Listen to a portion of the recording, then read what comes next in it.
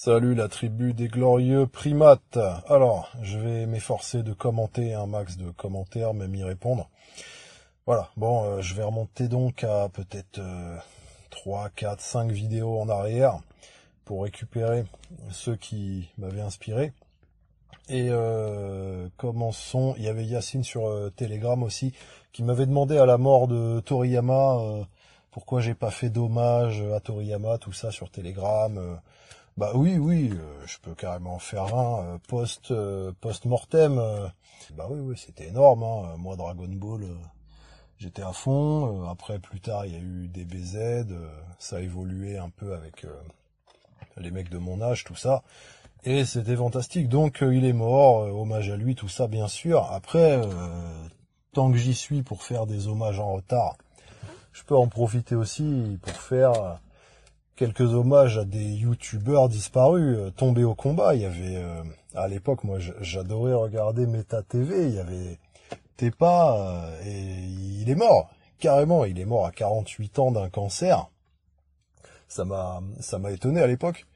Et Meta TV a disparu. Je, je crois qu'ils s'étaient embrouillés tous entre eux. Il y avait un, il y a eu des problèmes. Enfin, la chaîne aujourd'hui existe plus que sous une forme de réupload euh, par je sais pas qui. On, peut retrouver la plupart des, des docus Meta TV.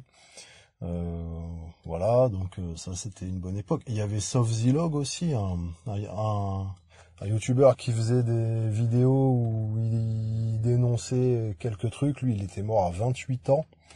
Sa chaîne existe encore, il est encore là, donc ouais, il y a, il y a des personnes comme ça. Je voilà. Après, je, je pense surtout à ces deux-là. Il doit y en avoir d'autres. Hein. Maintenant, ça fait longtemps que YouTube euh, existe et bon, euh, ouais, bah il y en a qui commencent à mourir. Hein. Il y a des morts dans les YouTubeurs. Euh, voilà. Peut-être que ce sera moi le prochain. Hein. Si ça se trouve, c'est peut-être la dernière vidéo que je fais. Et puis après, on sait pas. Hein. Donc, ouais, on m'a demandé aussi sur TG. Je game sur quoi en ce moment? Alors en fait, quand j'ai le temps, quand je euh, quand, quand, je dépense consciemment du temps pour jouer à des trucs, euh, c'est un peu les mêmes trucs qu'il y a 30 ans. Hein. C'est euh, Heroes 3, Magic, bon les hack and slash. Alors les, les hacks, les hacks c'était plutôt, ça fait 10 ans que c'est le même, hein, Pass of Exile. voilà. après, bon, j'essaye aussi des jeux modernes aussi. Il y a des Tower Defense que j'aime bien tester, les, les Kingdom Rush, tout ça. ouais, je suis, j'aime bien quoi. Bon, je suis pas total fan parce que voilà, ça reste simpliste et bon, euh, j'aime beaucoup. Alors, Armomic qui disait je sais que t'aimes ni l'été ni l'hiver. Penses-tu avoir une bonne expérience en visitant des pays du Nord, genre Irlande, Canada, Scandinavie, Islande et tout? Alors, en, les visitant, bah...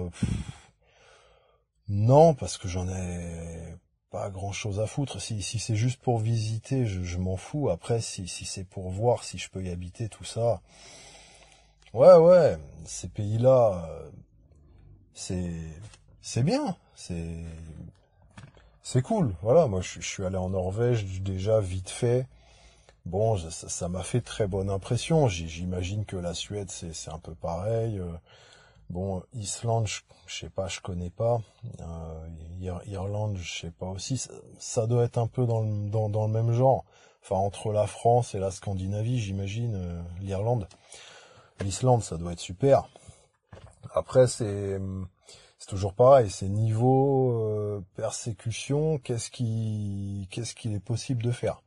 C'est euh, enfin la, la, Suède. Ok, c'est pays où il fait bon vivre, tout ça, les gens sont intelligents et tout. Ça reste un pays super socialiste. Donc, euh, qu'est-ce que ça implique? J'ai regardé un peu hein, pour les histoires euh, de unschooling, euh, de vaccins, tout ça. Bon, sur le papier, ça, ça a pas l'air terrible. Après, faut voir une fois que tu es là-bas ce que ça donne vraiment, parce qu'il y a toujours une différence entre ce qui est annoncé officiellement et, ce que tu peux vraiment faire. Donc bon, euh, voilà, faut faut voir. Je suis, je, je reste assez sceptique malgré que euh, c'est des pays qui peuvent être très sympas. Faut voir niveau persécution euh, par, rapport à la France ce que ça donne. Bon, c'est forcément moins qu'en France. Après, si c'est pas trop éloigné, ça vaut peut-être pas le coup de faire le move. après aussi, ça reste des, enfin, c'est des pays qui sont très chers. Hein. Norvège, c'est réputé être le pays le plus cher, avec le Japon, des endroits comme ça. Donc, faut avoir un plan, euh, voilà, soit faut avoir euh, beaucoup de thunes et il faut que le pays vaille vraiment le coup, euh, voilà, avec un T à la fin, ou, ou alors, ou alors bof quoi, hein, peut-être autant aller ailleurs. Alors, THPSKR, l'enfant non déclaré est une marchandise facile pour les kidnappeurs de réseau les témoins de rituels sataniques, les enquêteurs disent que la plupart des enfants sacrifiés sont non déclarés, souvent importés, tout ça. Euh, ouais, bah oui, c'est ça, c'est sûr. Euh, c'est un des inconvénients de. Euh, c'est sûr que si t'as des enfants pas déclarés, ouais, t'es es, exposé à ça. Éventuellement, ça peut même être du pain béni. Il faut faire attention. Enfin bon, quelqu'un qui des enfants non déclarés, son but euh, quelque part c'est d'être discret, donc il n'est pas censé être exposé à, à ce genre de risque tellement aussi. Observateur de ce monde, pour moi le plus gros souci avec l'idée de faire des mômes en France aujourd'hui, c'est les vaccins, les 11 vaccins obligatoires. Ouais, le fameux mot euh, obligatoire, c'est obligatoire. Quand il y a un mec qui dit c'est obligatoire, en général, euh, c'est que c'est c'est ton ennemi, c'est une menace, quoi. Le mec veut te mettre la pression. Qui vont en plus devenir tous euh, ARNM, t'as une stratégie à ce sujet. C'est la même stratégie que d'habitude pour tout ce que tu refuses. L'idée c'est que s'il y a un truc que tu veux pas, déjà faut commencer par dire je refuse ça. Et après le comment va venir. Les, les solutions de qu'est-ce qui est le mieux de faire en général, ça apparaît. Bon, c'est pas automatique. Hein. Il y a des fois, euh, ça peut pas venir. Et voilà, 9, fois sur 10, ça fait ça. Donc, euh, le premier truc, c'est c'est ça. Tu commences par refuser et après, il n'y a aucun problème. Euh, les solutions, tu vas les trouver en général assez rapidement, des fois moins rapidement, mais bon, c'est rare que tu n'en trouves pas. Voilà, donc euh, pour les vaccins, euh, de toute façon. Euh, et puis même si tu n'en trouves pas, bah de toute façon, c'est pas une solution. Enfin là, un truc comme ça, comme tuer, tuer ton gosse, parce que il y a des parents qui se rendent pas compte, mais le risque c'est ça, hein. c'est que, on va dire, au pire, ton ton gosse après l'injection, il finit handicapé à vie et tout, vas-y, paye ta vie de merde. Ou alors, euh, deuxième truc pire, il meurt. Et après, le troisième, euh, enfin le dans, dans, dans la hiérarchie quoi des inconvénients, inconvénients, ça va être, euh, il est, il va être, comment dire, pas, pas handicapé, mais diminué. donc bon, ça c'est, c'est la plupart des gens en fait, je pense. Hein. Euh, on, a été diminué. Enfin bon, moi dans mon cas, je pense que j'ai même été handicapé. Hein. Je pense que je, fais partie du cas 1.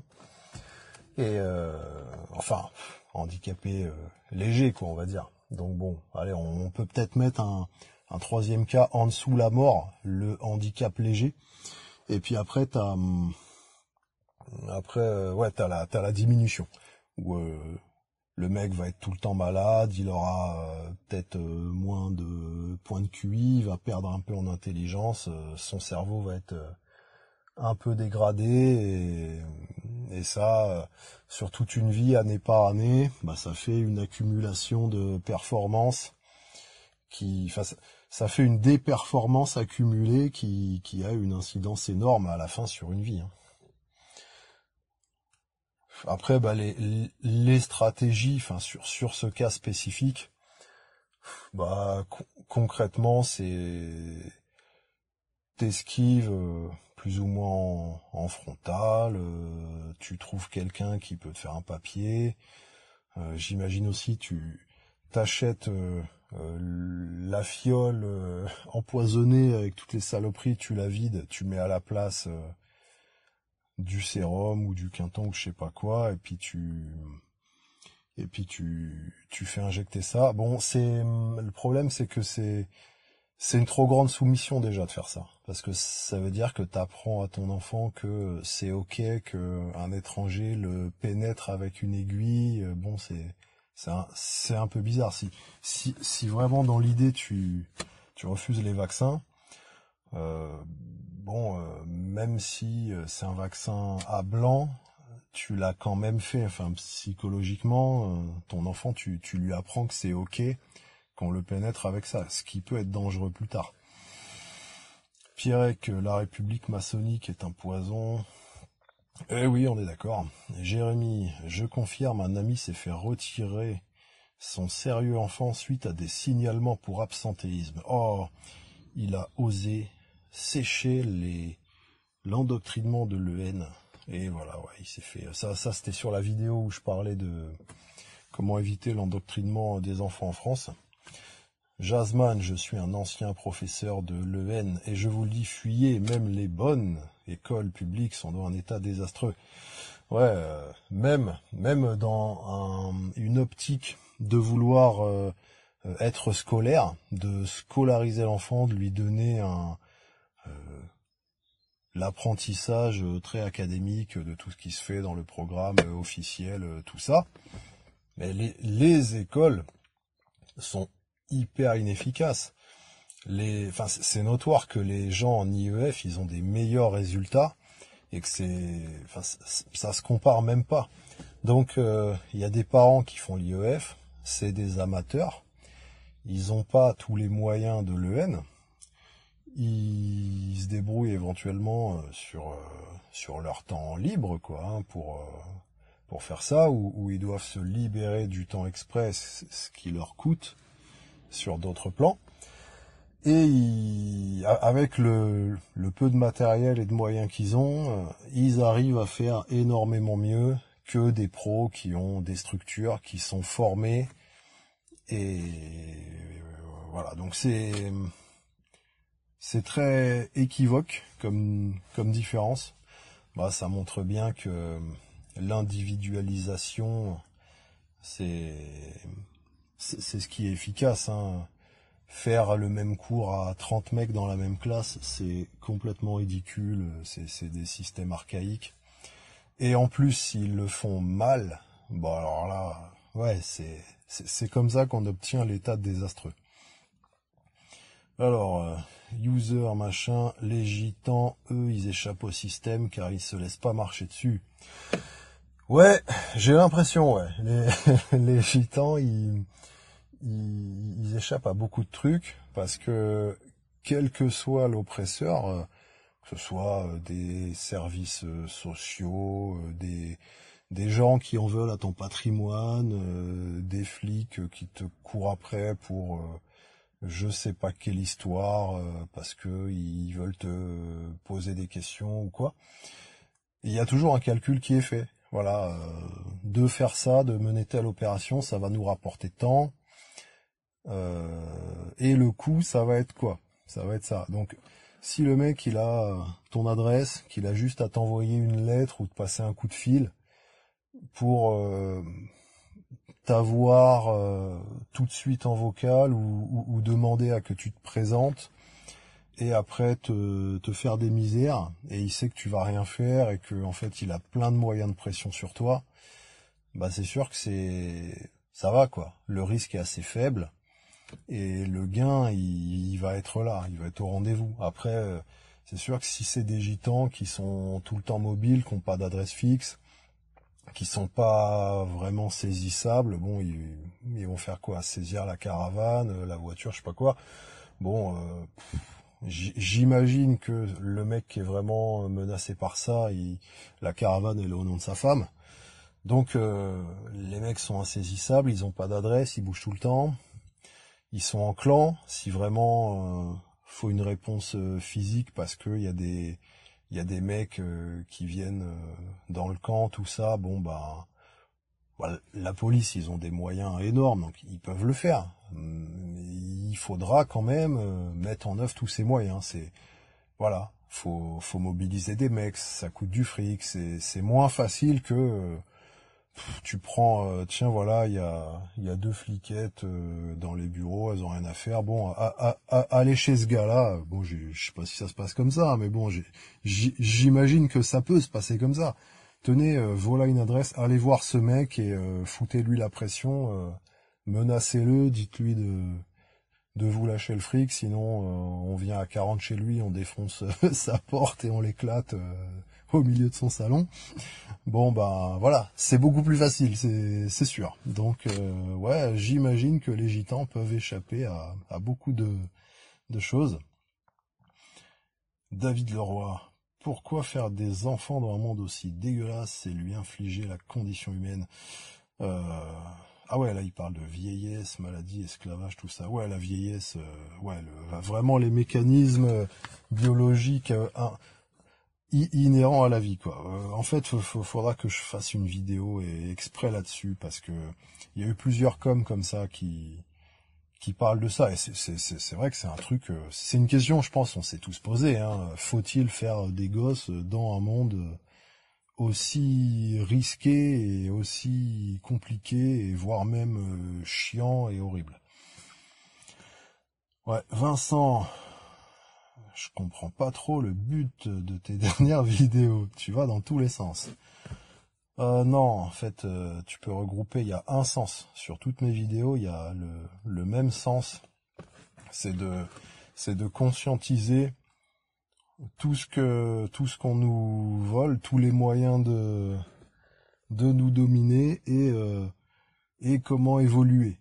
Voilà. On va dire, il y aurait deux sens dans mes vidéos comment prendre en puissance pour gagner en, liberté. Donc euh, il y a, l'aspect positif de euh, évoluer, euh, faire des trucs pour pour gagner, et puis il y a le côté conscientisation de toutes les attaques qu'on subit. On va dire, c'est les deux angles. Mais ça, tu peux même les regrouper dans, dans le même sens. C'est le gain de, c'est l'empowerment et le gain de liberté. Donc, euh, il me semble que c'est la seule solution, l'éducation en école privée et à la maison. Tu sais, ton enfant appartient à l'État, et ça, je l'ai appris à mes deux, à mes dépens. Déjà deux ans sans eux. Ah ouais, on t'a, on t'a volé tes enfants. Ou bon, je pense pas qu'on les ait tués, mais ouais, on te les a volés, j'imagine. L'État façonne, c'est sûr, mais quand tu veux pas suivre le courant, tu t'épuises à lutter. Euh, ouais, c'est ce que je disais dans la vidéo de, des, trucs à savoir si on reste en France. Euh, là, l'adaptation, la résistance, la ruse, se cacher, ça, ça a un coût.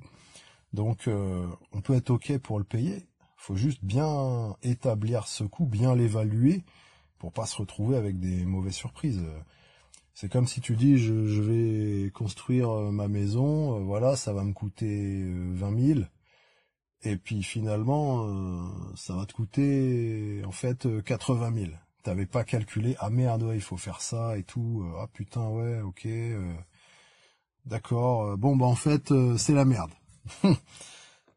Là, c'est pareil. Si tu restes en France, faut bien prendre tout en compte et avec l'inflation et tout. Les dix premières années sont cruciales, oui. Après, l'enfant saura se défendre. Je suis d'accord. D'ailleurs, physiquement, les tyrans de l'État pourront plus vraiment le contraindre.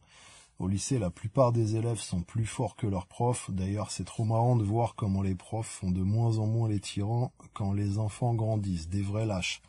Ouais, ouais, ouais. Alors, euh, ça, c'est un truc à vraiment à souligner. C'est la disparité de de force. Il y a souvent des gens qui vont trouver des euh, types d'abus scandaleux selon l'écart de puissance qu'il y a entre les deux. Donc euh, souvent on va entendre oh euh, voilà, sans prendre un handicapé. Regardez, euh, ce policier, il a euh, chopé le gars au fauteuil roulant, il l'a mis par terre, il a roué de coups. c'est dégueulasse. Oh, le mec, il a frappé sa femme. voilà, c'est un mal dominant. Il a frappé sa femme. Il est beaucoup plus fort qu'elle. C'est le truc qui paraît scandaleux, quoi. quand il y a une, une grande disparité de force entre les deux. Et le plus grand écart de euh, de, de, force qu'il y a entre deux humains, bah c'est entre un adulte et un, et un petit. Le petit, euh, si tu prends même un, même un handicapé, euh, une, vieille mamie, une femme qui se fait tabasser par son mari abusif, euh, même si physiquement ils sont moins forts, ils, ils peuvent se dire bon ok euh, je vais appeler la police ou, ou je vais partir ou je vais euh, répondre verbalement peut-être il y a, y a des petits trucs quand même qu'ils peuvent faire même juste partir ok au pire voilà je fais une valise je dégage et puis et puis c'est bon je change d'adresse je change les serrures de ma porte voilà, ça peut, ça peut régler des trucs. Là, euh, l'enfant, il est, il est dépendant, il peut rien faire, il peut pas partir, il peut, des fois, il peut même, il peut à peine parler. Donc, euh, c'est la plus grande disparité de force qu'il y a entre deux humains, adulte-enfant.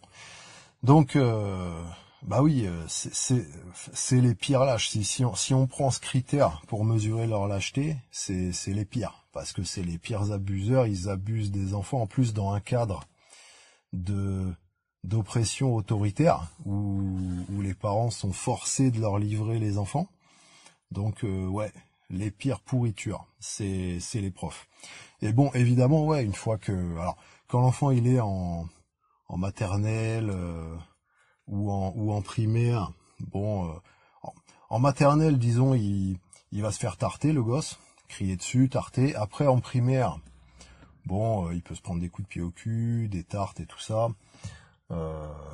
Mais bon, il peut parler. Voilà. Là, quand il est en primaire, il, arrive à, parler très bien et bon, il peut y avoir des problèmes. Donc c'est vrai que c'est tout de suite beaucoup moins courant. Voilà. Et après au, collège, bon, voilà, c'est terminé. Enfin, les les abus physiques, euh, ça se fait plus du tout. Euh. Enfin, je pense j'ai j'ai jamais vu. Hein. Abus physiques au collège, euh, ça devient verbal uniquement parce que là c'est déjà voilà les les mecs ont, ont, entre 10 et 15 ans, c'est terminé. Les profs n'ont plus cette capacité là. Rezarty, MDR, excellente vidéo, très drôle, même si malheureusement on devrait pas en rire, l'emprise du régime sur les gamins est terrible. Écoles privées sont la solution la plus simple pour limiter les endoctrinements des théories franc-mac ou autres idées saugrenues. C'est la plus simple et euh, peut-être la, enfin c'est la plus simple si, si c'est ok pour toi. C'est vrai que euh, bon c'est la plus simple, mais bon après euh, à condition d'avoir une telle école près, de chez toi aussi, parce que euh, souvent c'est loin. Enfin, en fait, c'est simple, vraiment sous plein de conditions. Et bon, euh, voilà, si, si tu mets beaucoup de conditions à quelque chose, euh, c'est que c'est pas simple en fait.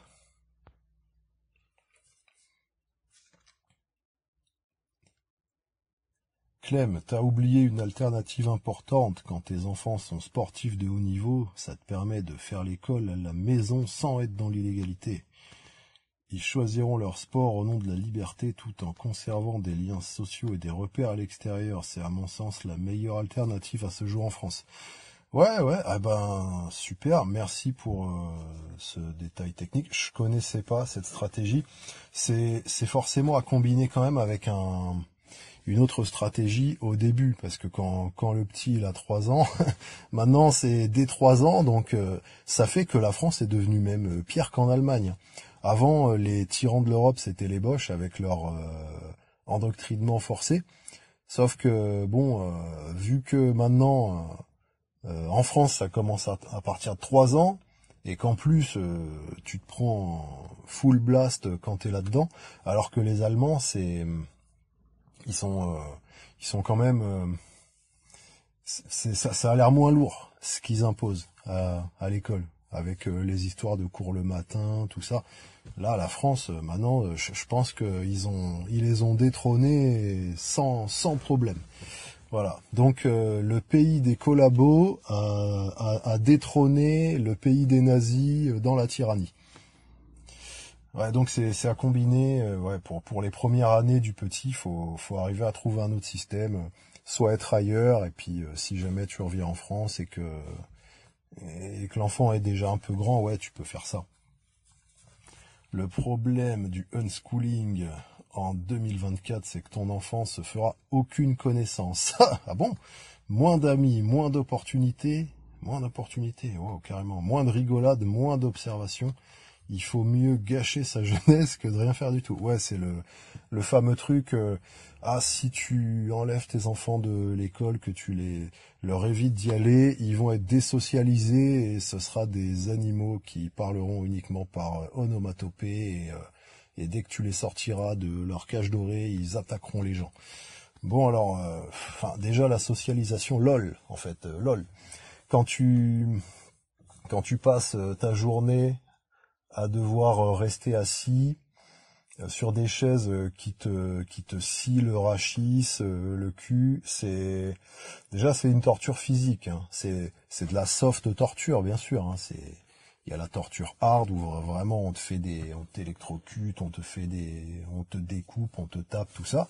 Il y a la il y a, il y a les tortures soft qui laissent pas de traces physiques, qui se font sur du plus long terme en général, bah, ça c'en est. Et il euh, y, a, y, a, y, a, même des gens qui ont des séquelles physiques après, hein, qui ont des problèmes de dos et tout, hein, à force de rester dans ces conditions. Hein. Euh, je, crois qu'il y avait un, primate une fois qui m'avait mis un commentaire, ça lui était arrivé justement, il avait des, il, a eu des, le dos défoncé à cause de ça. Voilà, enfin estimé à cause de ça. Voilà, c'est c'est ce qui paraissait probable. Hein. évidemment, t'as t'as jamais de certitude. Voilà. C'est comme moi, hein, dans ce qui m'a défoncé le dos, je, je, je sais pas pourquoi, j'ai, eu le dos niqué aussi, hein, de nos jours. Il y a, j'ai plusieurs suspects dans l'affaire, mais bon, lesquels sont vraiment impliqués, j'en sais rien au final.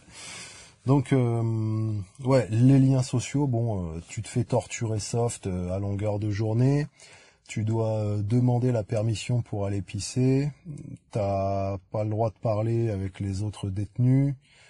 Bon, c'est du dressage, hein. c'est pas de la socialisation, c'est euh, du dressage. Voilà, donc euh, l'enfant se fera aucune connaissance. Pourquoi? Pourquoi il devrait se faire aucune connaissance? Il peut, il peut sortir, il peut aller faire des choses, tu peux, tu peux lui faire faire des activités collectives dans des groupes. Enfin, Bon, s'il a son passe vaccinal, bien évidemment, hein, parce que bon, sinon, euh, sinon oui, tu, il ira se faire foutre euh, comme n'importe quel euh, vilain petit fils de complotiste. voilà, moins d'amis. Bah, c'est pas. C'est sûr que quand t'es dans une prison, tes, tes compagnons d'infortune, voilà, vous avez un traumatisme partagé, tu les vois toute la journée. C'est vrai que ça crée des liens et tu peux te faire des des très bons potes dans ces conditions-là. Bon, maintenant, euh, à la base, c'est des co-détenus. Hein. C'est c'est pas forcément des gens que tu rencontres dans un contexte de faire une activité commune ou quelque chose comme ça. Donc euh, bon, euh, ok, ok, la galère partagée, c'est ça peut être un lien fort. c'est c'est ton frère d'armes, ton compagnon d'infortune, tout ça. Tu peux te faire des très bons potes dans les camps. Et euh, mais bon, après c'est pas non plus le truc ultime. Et voilà, est-ce que c'est est-ce que c'est mieux que les amis que tu peux te faire dans un cadre plus normal? Je sais pas, peut-être. Hein. Euh, après, ce qui est sûr, c'est que ça vaut sûrement pas tout ce que tu vas subir. Donc moins d'opportunités. Euh, non, non, non, justement quand tu passes euh, les deux premières décennies de ta vie à, à perdre ton temps là-dedans, à te faire brainwash, les opportunités perdues, elles sont incroyables. Prends un, prends n'importe quel mec qui, qui, enfin, dont les parents se sont occupés, hein, évidemment. Je, je, parle pas de, de gosses euh, africains euh, qui ont été abandonnés sur, sur des, sur des plages en Afrique ou je ne sais où. Hein. Voilà, tu prends une famille de unschoolers ou de homeschoolers, euh, les, les enfants sont beaucoup plus développés, c'est pas le même niveau. Là, c'est comme je disais pour le côté scolaire, ça se compare même pas le niveau qu'ils ont. Il y avait un bouquin de, je sais plus le nom de ce mec, c'était et j'ai jamais été à l'école, un truc comme ça. Et le mec il raconte un peu sa vie, tout ce qu'il a fait. Bon bah voilà, tu, tu captes la différence de niveau hein, comparé à comparé à ceux qui perdent leur temps là-dedans. La perte d'opportunité en, en ayant eu euh, la première partie de ta vie gaspillée comme ça, elle est incroyable. Moins de rigolade. Ah bah ouais, c'est sûr que moins de rigolade. On, on va moins rigoler euh, en étant euh, tranquille chez nous, en, en, en, faisant des activités qui nous plaisent, en progressant, en étant au sein de notre clan, que en étant enfermé dans une tôle. Alors oui, des fois il y a des trucs rigolos. voilà, t'as le t'as le prof de musique, enfin le prof, excuse-moi, mais le le dresseur à qui on a assujetti le prétexte d'éducation musicale qui va il va te jouer un, un morceau au pipeau et puis euh, et puis toi avec tes potes tu lui jettes des des pièces de centimes à sa gueule pour le pour l'humilier tout ça. Oui ok il y a des trucs des fois qui sont rigolos. Euh, voilà. Enfin c'est anecdotique sur, toute une vie de scolarité t'en as combien des anecdotes comme ça? C'est c'est rare il y en a quelques-unes. Donc sur 15 ans d'internement, quand même, euh, c'est c'est chaud. Voilà. Oui, tu tu vas raconter ça. Ah ouais, bon, c'était un souvenir, c'était sympa, mais bon après, euh, pour chaque anecdote comme ça, t'as t'as six mois de t'as six mois de tôle. En fait, c'est c'est chiant. Ouais, à ce moment-là, à ce moment-là, si, si c'est pour avoir, euh, si c'est pour payer six mois de tôle pour avoir une anecdote fun, bon bah dans ce cas va carrément dans euh, la criminalité, tu vois, tu tu prends une batte, euh, tu vas dans la rue euh, ou tu vas chez quelqu'un que t'aimes pas, tu tu lui éclates les jambes et puis et puis tu fais six mois ferme derrière, voilà. Et puis t'auras une anecdote à raconter. tu diras à tes potes, ah ouais, c'était marrant, j'ai été me battre à coups de batte et tout contre machin. Voilà. Bon après j'ai fait six mois de prison, mais ça bon, on s'en fout, c'est rien quoi. Nous, bonne rigolade quoi, au moins. Voilà. Et la dernière phrase, il faut mieux gâcher sa jeunesse euh, que de rien faire du tout. Euh. Oui, euh, bon, ça, j'ai dit une phrase un peu similaire quand je parlais des enfants malgaches dont les parents s'occupaient pas et qui étaient abandonnés avec juste un short et un, et un, et un bout de bois pour jouer toute la journée aéré sur un terrain vague au milieu des, des merdes de chiens et, à, à cramer au soleil, quoi. Bon, euh, si t'es obligé de comparer euh, l'école euh, de la République française à cette situation des enfants africains dont les parents s'occupent pas et, qui s'éteignent par manque de stimulation du cerveau, ça en dit long quand même sur, sur, sur ce que tu proposes dans l'école. Alors, Tintin, la plupart des parents sont des abrutis de toute façon, tu les regardes dans la rue fumer à côté de leurs gosses, rien à battre. Eh oui, euh, j'ai vécu. Ils leur donnent de la bouffe merdique parce que c'est pas cher, pareil pour le reste. L'école est une garderie géante, les parents s'en foutent du principe d'éducation et des résultats, ils vivotent délaissés. Ces gosses ont aucune structure qui les pousse à s'élever intellectuellement ou simplement d'un point de vue humain. Ouais, ouais, euh, la plupart des gens, ils considèrent simplement l'école comme euh, juste une garderie. C'est le, c'est le, je pense que c'est le motif principal. Euh.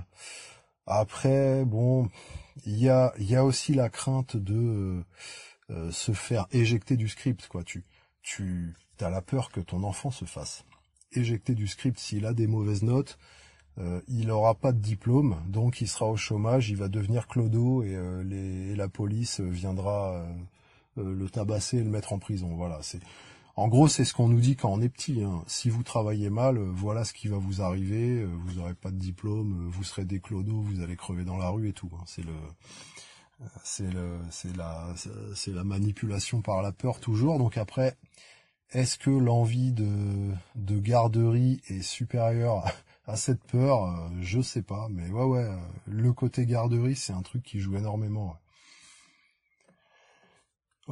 Salut. En vrai, c'est pas si complexe. Jusqu'à 6 ans, c'est possible d'esquiver.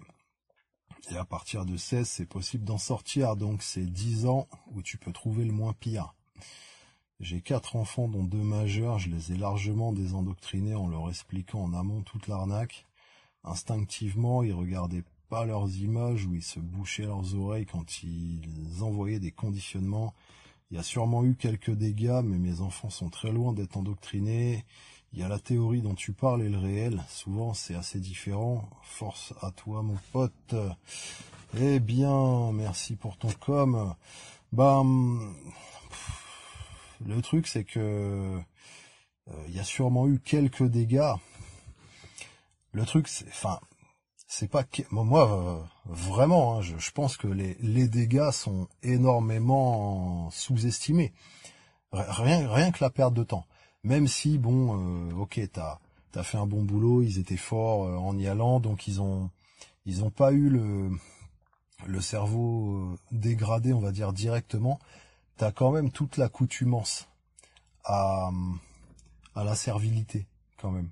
Donc même si euh, les mecs se laissaient pas faire, qui déjà, je pense que vraiment hein, celui qui refuse, celui qui est vraiment euh, sharp, l'enfant sharp qui va refuser chaque tentative de manipulation, chaque euh, chaque même tentative d'abus, on va dire. Enfin, je pense qu'il y a un moment, ça devient physique quand même. Donc, le mec, il est, il est obligé de se faire euh, virer ou dégager. Donc, sinon, c'est qu'il subit quand même quelque part. Et ça, sur toutes les années accumulées, bah, rien que sur la perte de, de temps, donc la perte d'opportunité, rien que ça, c'est des dégâts énormes. Même si à la sortie, il se dit, euh, voilà, bon, ils m'ont pas eu ces connards, ils ont essayé de me dresser, mais c'est bon, voilà j'ai 16 ans et j'ai encore toute ma force, c'est sûr, c'est déjà super. Il y a quand même eu la perte de temps, donc euh, ça c'est... T'imagines, euh, rien que perdre 10 euh, ans, c'est tout ce que tu fais en 10 ans, c'est énorme. Vivre en campagne Mathieu, qui dit tu portes parfois des t-shirts métal, t'es de Marseille, moi aussi j'ai grandi là-bas, t'as dû connaître Disturb, NSBS, Full in Your Face, Madlab, Et les festivals hybrides. Eh ben en fait euh, non, j'ai pas connu ça. Alors euh, Marseille, euh, je suis allé à quelques concerts à Marseille. Moi j'étais en Île-de-France avant, donc j'ai vu quelques concerts en Île-de-France. J'en j'en ai fait mine de rien peut-être une dizaine. Hein. Voilà, il y, a un moment même, je dirais même que ça me plaisait. C'était pas juste euh, j'y allais pour voir, pour tester, et au bout d'un moment je me suis dit bon bah ok, euh, c'est bien, euh, voilà, c'est c'est pas mon truc, j'arrête. du moment que j'ai Mazik chez moi, ça me suffit. Non, non, il y a, y a eu un moment où je trouvais ça cool. Par contre, je suis jamais allé à des gros concerts. J'ai jamais vu des gros groupes en concert. C'était toujours des, des petits concerts de quartier avec des groupes de death et de black locaux. Voilà, avec des potes qui jouaient souvent et enfin des potes. Dans le dans le métal euh, j'ai pas trop appelé ça des potes en fait. Les mecs étaient un peu bizarres surtout dans le black metal. J'ai pas vraiment eu de eu de potes là dedans où c'était assez momentané. Mais bon euh, voilà c'était plutôt l'ambiance. Après ouais les les festivals hybrides et tout à Marseille non j'ai pas connu Marseille euh, Marseille je suis allé à trois, trois concerts de métal à Marseille. Peut-être un truc comme ça. Il y avait euh, La Brocante. Euh, putain, les autres groupes, je me rappelle même plus du nom. Fate. Mais Fate, en plus, c'était des mecs de Paris qui étaient venus à, à Marseille à ce moment-là. C'était du grind. Enfin, voilà. Mais moi, je suis, je suis pas trop au concert, en fait. Euh, c'est vrai que je suis allé à quelques-uns, mais bon, les, les, les sorties et tout, j'étais pas à fond là-dedans. Voilà, avoir ma euh, dans mon dans mon MP3, euh, ça me suffisait quelque part. Crash BDX, 15 ans aux Philippines pour ma part, je me retrouve dans tout ce que vous décrivez concernant les difficultés. Gens toujours en retard, pas cher mais mauvaise qualité. Euh, blanc égale américain égale pognon à prendre. Femme de ménage qui fouille dans ton dos pour te, pour te carotter et ainsi de suite. Ouais, ouais, euh, bah, je pense que le, euh, on va dire la, le style tiers-mondiste, c'est à peu près partout pareil. Hein. Après, il y a des, je pense que l'Afrique, c'est, c'est quand même peut-être le côté extrême, mais ouais, sur, partout sur la planète, c'est à peu près comme ça. Et la Thaïlande, euh, voilà, il y a un peu de ça aussi. J'imagine que l'Amérique, c'est un peu pareil aussi. Après, c'est plus disparate. C'est vrai que l'Afrique, euh, c'était vraiment, c'était vraiment assez chiant. J'ai parlé beaucoup d'Afrique, hein, euh, suite à mon voyage en Afrique, je disais ça me convient pas, tout ça. Il y a la partie africaine qui m'a pas convenu. Maintenant, euh, j'aurais pu aller en Amérique ou en, Asie. Bon, euh, ça aurait pas été aussi pourri. Au, moins, j'aurais peut-être passé des bons moments là-bas. Quoique j'y allais pas, j'allais pas là-bas pour ça, donc j'en avais un peu rien à foutre. Mais au moins, ça aurait été plus agréable. Par contre, euh, bon, la conclusion en gros, c'est que le côté pays tiers-mondiste, ambiance tropicale et tout, euh, où il faut prendre l'avion, faut, faut être dépendant de ce mode, bon, ça, me convenait pas. Après, le, côté africain en plus, euh, ouais, c'était vraiment un, autre niveau qui, qui ajoutait encore au poids du truc. Et ouais, ouais, je pense que Philippines, Thaïlande, Cambodge, enfin ça doit être partout pareil. Hein. Et je, suis, je, suis, je suis quasi sûr qu'il y a, il y a même pas tellement de différence avec l'Afrique euh, finalement. Sauron, ce bon vieux Pierrot, je l'adore, cet homme est génial. Ah, nous avons un fan de Pierrot. Bon, bah, ça lui fera plaisir. Pierrot, tu as des fans sur la tribu. Joe Lafrite, euh, parfait dans le camion au lieu d'écouter la radio française de merde. Radio poubelle maçonnique. Ouais.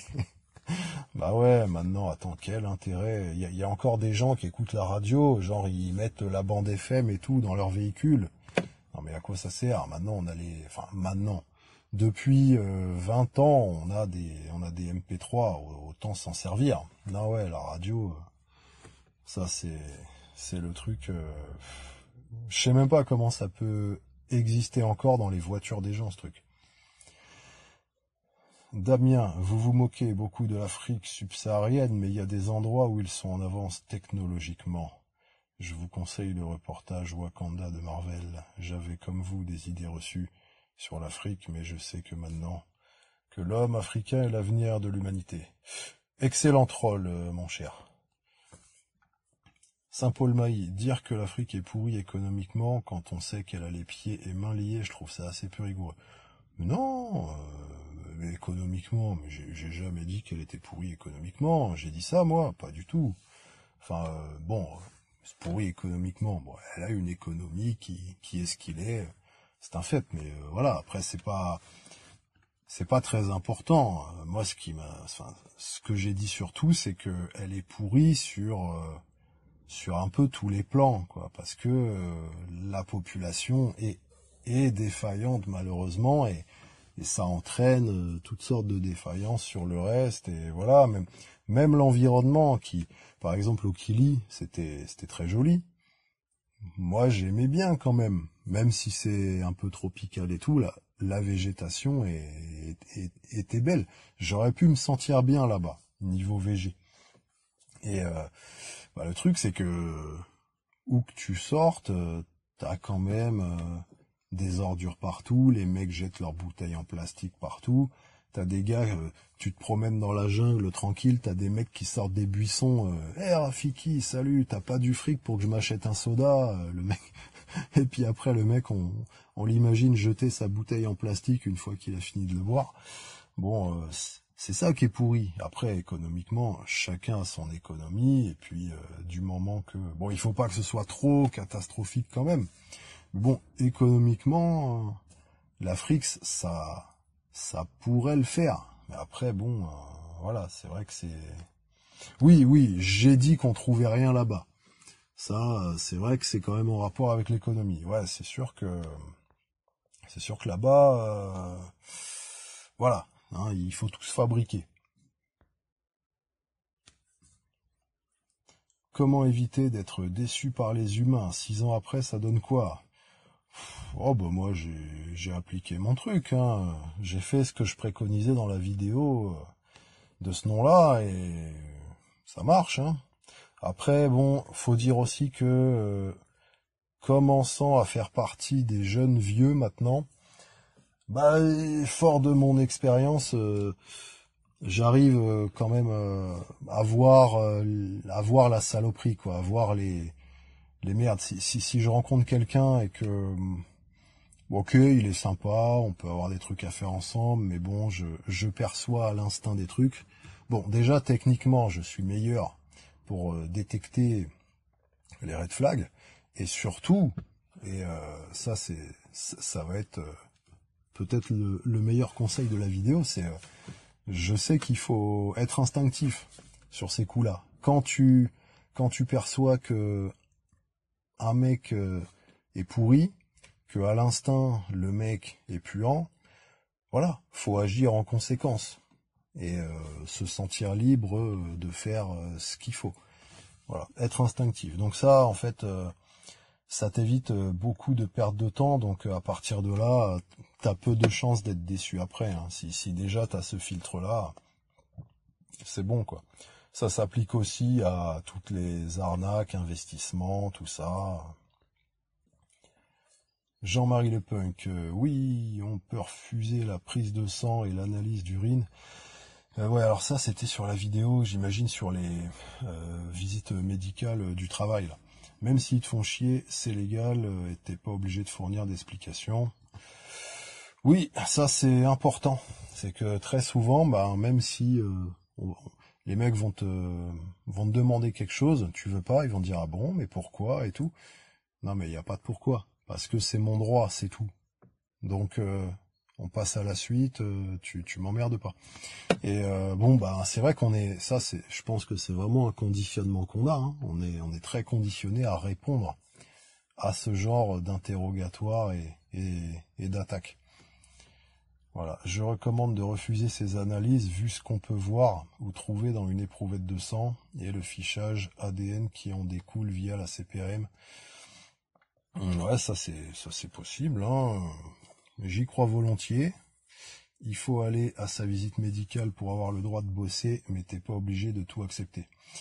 Ouais, ça c'est important ce qu'il dit. Euh, très souvent, en fait, euh, ces gens-là, quand ils veulent euh, te manipuler, ils vont chercher à te à te faire accepter plusieurs petites étapes, et puis à et puis à la fin, ils vont ils vont incrémenter le truc en disant ah bah il y a aussi ça, non mais tant qu'on y est, allez, on fait ça, on fait ça, et puis finalement les mecs, euh, les mecs toniques. Donc, euh, on peut bien conscientiser que tu peux faire le minimum. C'est bien de le définir à l'avance.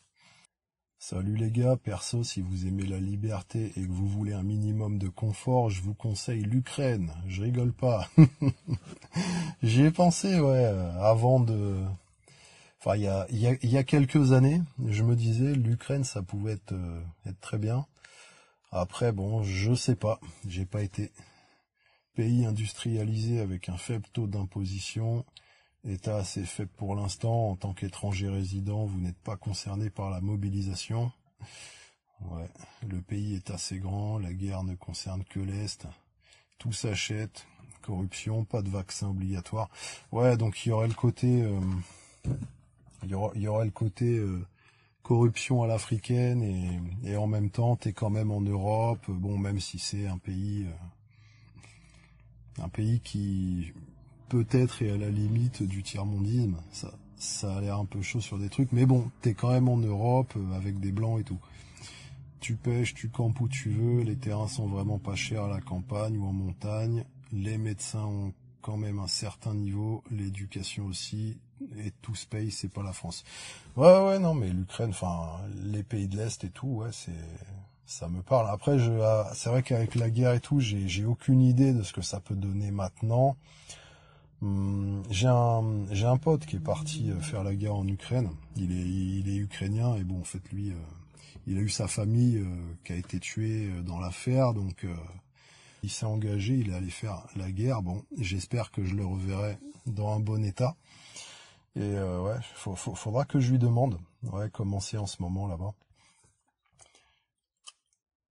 Mathis, je trouve que ça peut avoir un côté positif de pouvoir expliquer à un enfant qu'il peut y avoir des choses à prendre chez quelqu'un sans le valider, tout en sachant que c'est un connard qui dit beaucoup de choses néfastes. J'ai l'impression que peu de gens sont capables de faire ça. Ça, c'est un com qui était sur euh, la vidéo de où je disais que je, je, voulais plus consommer de contenu de collabo. En général, soit ils valident à fond, soit ils détestent et boycottent. Évidemment, je suis d'accord sur le fond de ton raisonnement, je pense que c'est une question de ratio. Ouais, ouais, je suis d'accord avec euh, ce com. Le truc, c'est que euh, si t'as un, ça, dépend du contenu en fait. Si t'as un, un, collabo qui t'apprend à savoir technique, tout ça, euh, ok, pas de problème, c'est bénéfique. Et puis euh, toi, t'apprends quelque chose de technique. Le mec, il sera content d'avoir fait la promotion de du savoir qu'il veut transmettre. Et voilà, tout le monde est content. Voilà, toi pareil, si si tu veux faire la promotion euh, d'un certain savoir sur un domaine, tu peux l'apprendre à des gens, tu t'en fous un peu de qui ils sont, bon à moins que à moins que ce soit un savoir qui qui leur donne une influence euh, et un pouvoir que t'as pas envie qu'ils aient. Donc là là oui, il faut faire gaffe. Après si c'est quelque chose si ça reste du registre euh, du fun, du, du loisir ou de la ou d'une pratique ou quoi, c'est c'est bénéfique pour tout le monde. Euh, là, là où est le problème, c'est que t'as des, t'as des contenus, enfin t'as, t'as, t'as des gens, euh, peu importe le contenu qu'ils vont faire, ça va transpirer le collaborationnisme. Tu, tu vas forcément avoir des saloperies dedans, le contenu va être pollué. Tu peux aussi jamais savoir si tu peux faire confiance aux infos qui sont dispensées. Euh, voilà, bref, c'est pas terrible. Alors bon, dans euh, cette époque, l'info, elle est tellement abondante, il y a tellement de trucs, que pourquoi aller consommer un contenu qui, qui, qui peut avoir un peu de bon et qui va être quand même entaché par ça, alors que euh, tu peux trouver l'équivalent ailleurs. Bon alors, la réponse, euh, en grande partie, ça va être que le contenu, par exemple, si on prend l'exemple de YouTube, le contenu qui va être poussé sur YouTube, c'est c'est les contenus de collabo très souvent. Euh, tous les mecs qui ont euh, des 200 000, 500, 1 million de subs, en général, c'est des mecs qui ont quand même une certaine allégeance au, au logiciel esclavagiste. Donc c'est très pollué et c'est les contenus euh, les plus faciles d'accès en fait. Tu vas même euh, même sur des trucs de divertissement, tout ça, tu peux voir des trucs qui te plaisent que t'aimes bien regarder, même il y a des trucs intéressants, et ben ça va être teinté de collaborationnisme dedans. Euh, tu peux te dire ben ouais ben si je regarde pas ça, je vais m'en priver. Alors qu'en fait non, si tu fais un effort plus poussé pour aller chercher un équivalent, d'un mec qui aura peut-être 1000 inscrits ou 10 000, tu, tu vas trouver ce mec-là. Et tu auras accès. Alors, ce sera différent, sûrement. Euh, voilà, ce sera des choses qui sont pas précisément les mêmes. Et tu auras quand même de quoi combler ton temps à prendre des trucs sur des registres similaires et, et ce sera, ce sera quand même très bien. Donc, c'est pour ça que moi, je préfère, quand il y a des contenus comme ça, si le, si le mec euh, tu vois clairement dans son contenu que c'est une pourriture, je préfère zapper tout de suite et aller me chercher un quelqu'un qui va dispenser un, un, savoir au moins équivalent et, et je, voilà, je préfère apprendre de lui, au moins j'aurai plus confiance. Après, s'il y a un mec qui est une ordure et qui euh, balance euh, du technique, pas de problème, je peux le prendre. Et dans ce cas-là, je suis même pas censé percevoir que le mec est comme ça. Aldo Fitla, comment tu fais pour être aussi pâle à être allé en Afrique? Ah bah c'est de naissance, hein. Après euh, le bronzage, pour avoir vraiment un bronzage euh, qui commence à être un peu marron, faut vraiment passer beaucoup de temps au soleil. Hein. C'est pas naturel comme truc. Donc euh, peu importe le temps que je passerai en Afrique, voilà. Puis après je je sortais pas énormément là-bas même euh, déjà au Kili, il faisait pas un soleil énorme, il faisait pas très chaud, donc je sortais quand même euh, un peu, pas énormément, mais voilà. Et après, par contre, euh, quand j'étais ailleurs qu'au Kili, à Moshi ou, ou, à Mada, j'évitais de sortir parce que c'était juste chiant. Je sortais pour faire des trucs que j'avais à faire. Et après, si je pouvais éviter, et ben je me, je me portais très bien comme ça. La Tanzanie, c'est la Bretagne de l'Afrique ou quoi? Ouais, ben, ouais, au Kili, c'est le climat. Bon, en plus, on y était, quand, quand on était là-bas, c'était un peu la, la fin de l'hiver ou je, je, sais même pas, mais il faisait encore un peu froid, donc euh, ouais, ouais, il n'y avait pas de raison de bronzer spécialement. Ici Skull, salut Matt, t'imagines, t'as un triso, tu fais quoi? Ah bah là, euh, ce serait la merde, parce que en plus, euh, je, je, sais même pas si tu le vois tout de suite. t'as le peut-être ça, tu, tu, tu, tu, commences à le percevoir quand, quand le petit il, a déjà plusieurs mois, enfin il me semble. Hein. Donc euh, ouais, c'est sûr que ça doit être très chiant. Après, qu'est-ce que tu veux faire? Euh, Faire un test de trisomie, euh, ça marche pas en fait. T'as plein de faux positifs, des faux négatifs. C'est les, les, les tests trisomie, c'est à foutre à la poubelle. C'est vraiment un truc. Euh, voilà, tu tu peux rien faire en fait. Donc euh, si on dit il est triso, ben tu fais quoi? Tu vas l'avorter alors que en fait euh, il, il a peut-être rien du tout cet enfant. Et euh, et puis tu peux avoir des des faux négatifs aussi. Donc bon, c'est ça c'est sûr, c'est la question compliquée. Après je me pose la question si j'avais un enfant trisomique, est-ce que il serait est-ce qu'il serait moins triso euh, en, en s'étant développé dans ma famille que le français moyen? Je, me pose euh, la question. Robert Cabu, 1947. 1947. Matt, tu me déçois. Ouais, bon, je sais pas pourquoi, mais bon, ça arrive, hein, on peut pas plaire à tout le monde. Euh, fallait fallait appliquer euh, ce que j'ai dit dans ma vidéo de comment pu être déçu par les humains. Comme ça, je t'aurais pas déçu. Aurélien Venet, tu me fais halluciner. Accoucher en France, c'est dangereux, alors tu pars en Afrique. oui Bah oui euh, En Afrique, en Afrique, il y a personne qui va venir te tuer si t'accouches. Bon, il y aura d'autres problèmes. Y a, ça, ça va être la merde pour euh, d'autres euh, types de, de, de, raisons. Et au moins, il n'y a personne qui va venir te tuer en disant euh, vous nous devez quelque chose, voilà, on vient, on vient capturer votre gosse, on va vous foutre en tôle et tout ça. Voilà, ça, ça se fait pas là-bas. Donc bon, on peut reprocher beaucoup de choses aux Africains. Voilà, ils, ils sont tout le temps à essayer de nous arnaquer, ils sont un peu lourds. Voilà, des fois ils ont des attitudes, euh, c'est un peu fatigant et tout. Mais bon, au moins euh, dans ce contexte-là, ils vont pas te tuer. Voilà. Bon, dans d'autres contextes peut-être. Là pour ça, ça va. Il t'aura fallu 44 ans pour découvrir ça que l'Afrique est bien pire que la France. Non, 5 mois. Voilà. Et j'ai fait deux pays en 5 mois.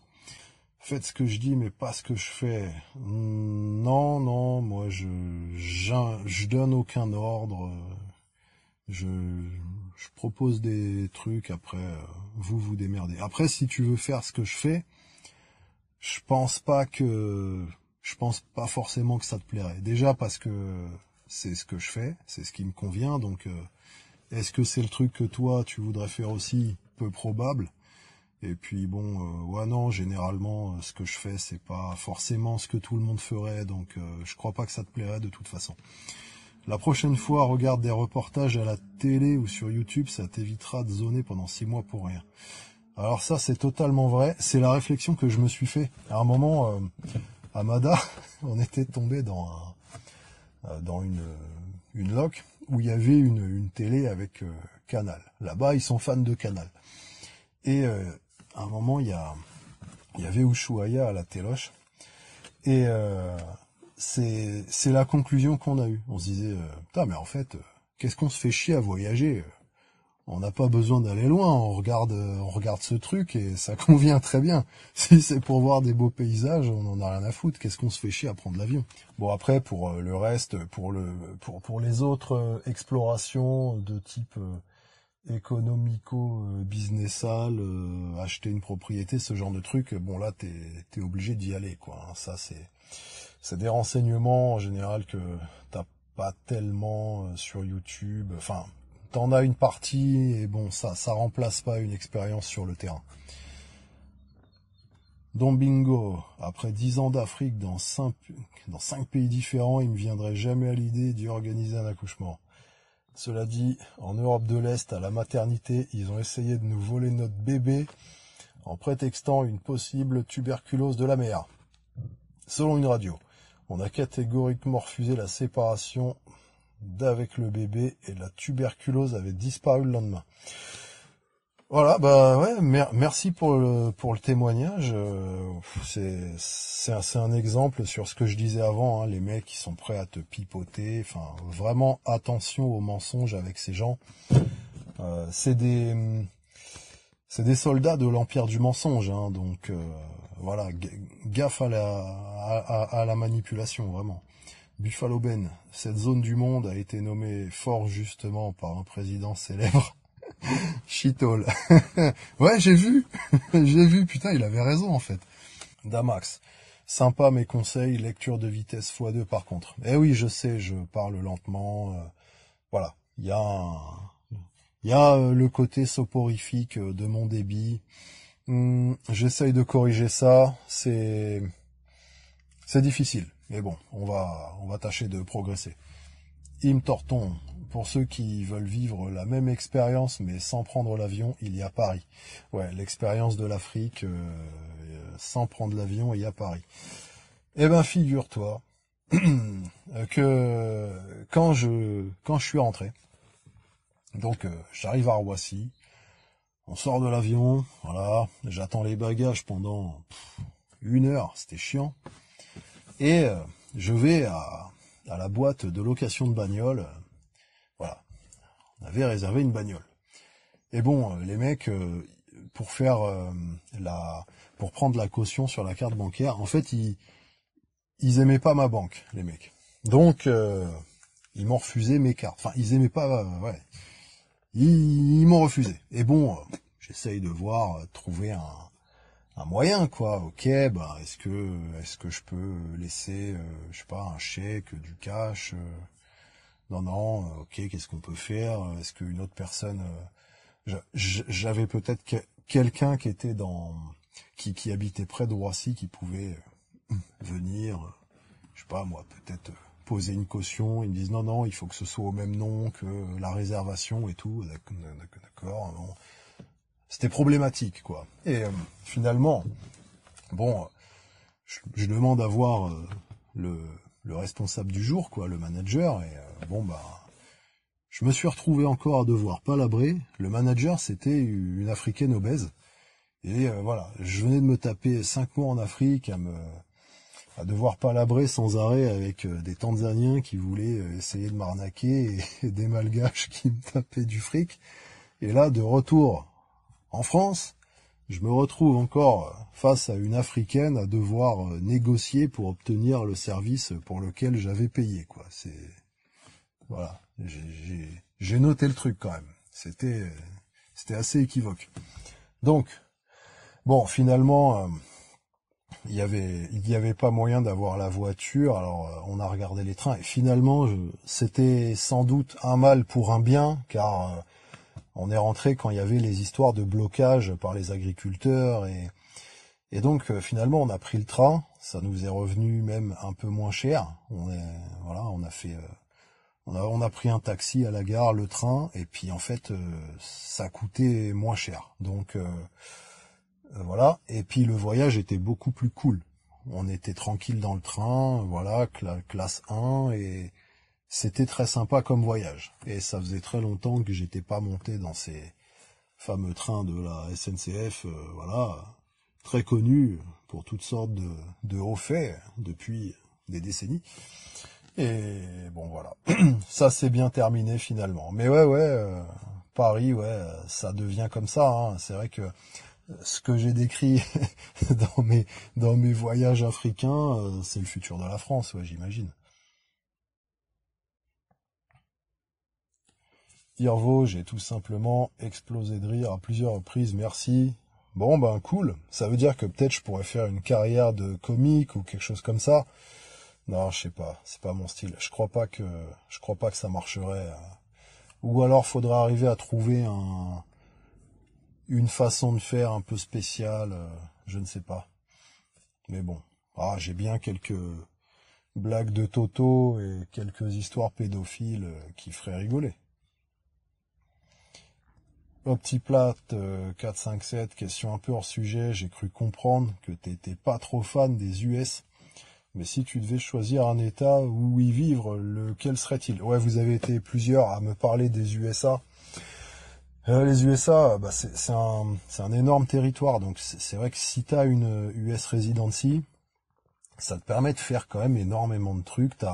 Il y a beaucoup de, de, de, types de terrains différents. Il y a même la Floride qui a la carac d'être le seul territoire occidental tropical. Donc euh, c'est vrai que c'est un, un, un, mélange euh, spécial, quoi. C'est assez unique dans le monde. Après, il y a des...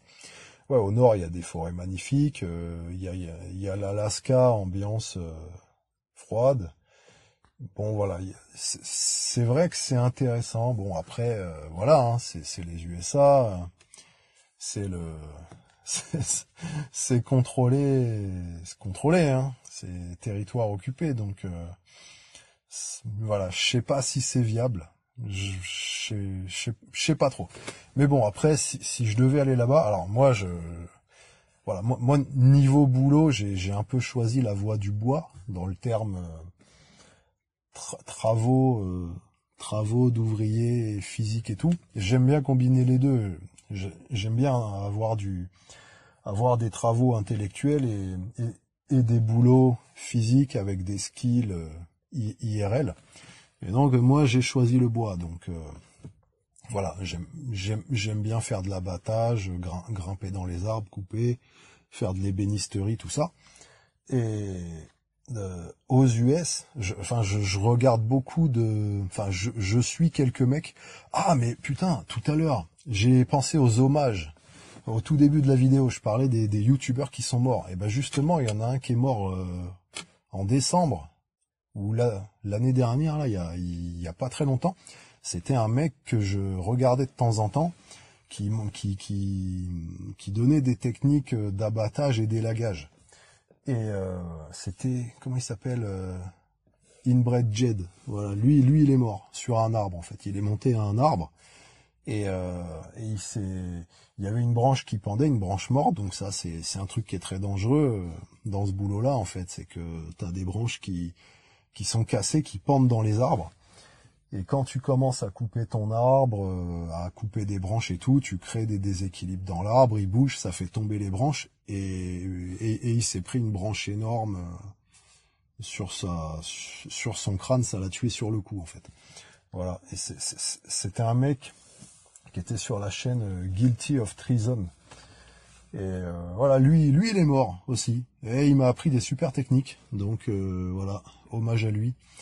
Donc euh, ouais, euh, quand, je regarde ces, ces chaînes qui parlent de, de woodworking en forêt, euh, enfin tout ce qui est ouvrier forestier et tout, bah les mecs ils ont vraiment des forêts magnifiques, c'est aux US, donc bon, je crois ça c'est tout le nord, hein. ça va du Maine jusqu'à l'Oregon et ils ont vraiment des super arbres, ils ont des maples et tout, enfin je pense que j'irais plutôt dans des endroits comme ça. Ça, ça me plairait beaucoup.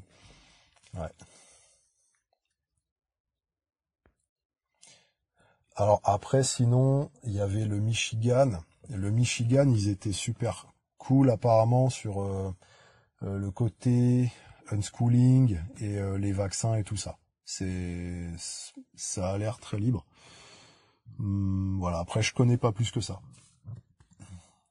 Georges Abitbol, 33. Oh, Georges Abitbol, c'est un grand privilège d'avoir des coms de l'homme le plus classe du monde. Il nous dit, merde, je t'avais pas vu depuis tes techniques de combat et voilà que YouTube me suggère ta vidéo, content de voir que t'es toujours vivant. Ouais, moi je suis, je suis encore vivant, je fais partie des, des mecs de YouTube euh, qui, qui vivent encore, donc euh, c'est bien, c'est bien. Je vais essayer que ça reste comme ça, sans faire trop de compromis quand même. Hein. Je veux pas non plus... Euh, avoir une vie merdique. Ça suffit comme ça. Et super retour de voyage, je l'ai même écouté deux fois en entier. Oh, et eh ben j'en suis honoré.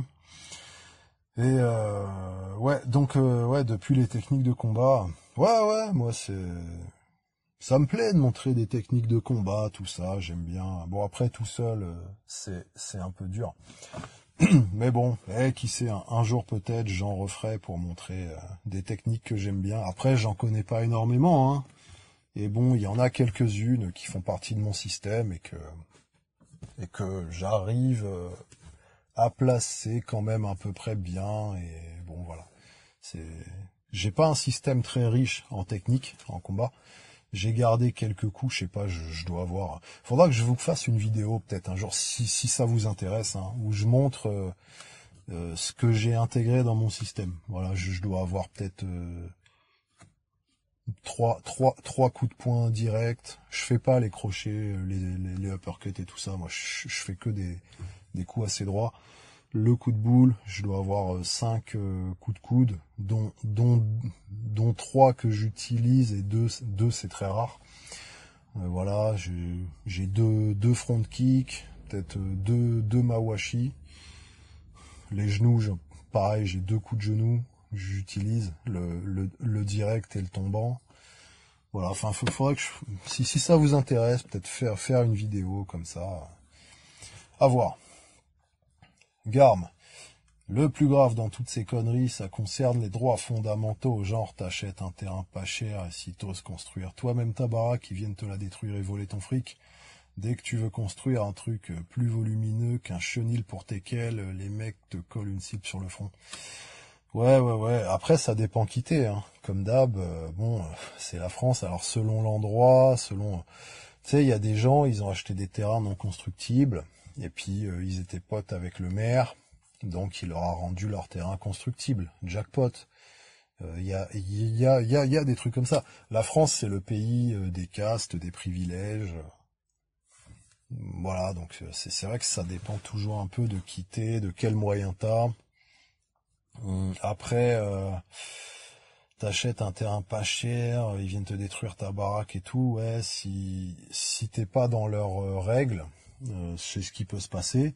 Mais le truc, c'est que même si en 100% légalité, bah c'est quand même des histoires assez communes que la mairie dise euh, ouais bah allez euh, votre terrain ah vous, vous, voulez vendre votre terrain avec votre maison dessus mais il y a six mois on a décidé qu'il était plus constructible donc donc voilà votre terrain il vaut plus rien en fait maintenant et puis, euh, et puis peut-être euh, quelques mois ou quelques années plus tard, s'ils ont envie, ils te le préemptent. Et comme il est plus constructible, ils te donnent euh, une somme symbolique et puis tu dégages. Tu vois, c'est comme ça que ça se passe. Donc ouais, c'est même c'est même pire que ça quoi. Mais bon, ouais, la la maison, ça fait partie des des des points super importants où, où en France c'est très difficile. Ouais. Enfin bon, de toute façon, maintenant, c'est vrai que investir en France, euh, c'est délicat. Hein, c'est un investissement super risqué. Avec les histoires de euh, réquisition de tous tes biens, ils peuvent te voler ce qu'ils veulent. Bon, c'était déjà le cas, sauf que maintenant, c'est beaucoup plus facile. Après, il y a, il y a les histoires de, ouais, de taxes qui vont euh, ne faire qu'en augmentant. Ah ouais, et la nouvelle taxe sur le loyer fictif voilà, donc euh, l'INSEE qui propose de faire un débat là-dessus. Alors, la dernière fois qu'ils en ont parlé, c'était c'était un think tank qui avait proposé l'idée. Maintenant, c'est l'INSEE qui dit euh, bon, il faut débattre. Donc, euh, dans dans trois ans, la prochaine fois, ça va être quoi? Ce sera quelques députés de l'Assemblée qui diront oui, on devrait parler de ça. Et puis la fois d'après, ce sera deux ans plus tard encore ce sera une proposition de loi. Puis ils diront non, mais c'est juste une proposition, quoi. Et puis une fois que les gens, ils auront accepté le truc, là, ils voteront euh, la loi et puis ça sera acté. C'est l'eurogoulag. Sincère, en Europe, il y a l'hiver, ce qui oblige aux populations à construire des trucs isolés et avoir des vêtements chauds pour survivre. En Afrique, quasiment partout, il fait chaud toute l'année, les gens ont pas besoin de se développer pour survivre. Ouais, ouais, bah c'est la, c'est les, c'est le, le mécanisme naturel. si c'est vrai que si la nature, enfin si, les mecs développent des moyens dont ils n'ont pas besoin, finalement c'est une perte. voilà, la nature va au, chemin le plus facile. Donc s'il n'y a pas besoin d'être performant, bah, autant rester pas performant. S'il n'y a pas besoin d'être intelligent, autant rester con. Bon, après, euh, je sais pas, moi j'ai l'impression que c'est bien quand même d'avoir un minimum, euh, juste pour avoir envie d'évoluer quand même. Même, euh, même, même lentement. Je sais pas, moi je, trouve ça bien, donc eh, peut-être que la nature, des fois, c'est pas très bien fait. Hein.